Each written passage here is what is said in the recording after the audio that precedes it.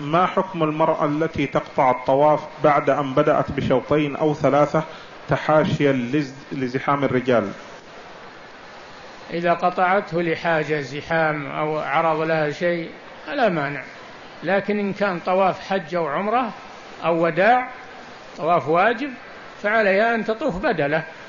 أما إن كان طواف تطوع فلا يلزمها أن, أن تأتي ببدله. نعم.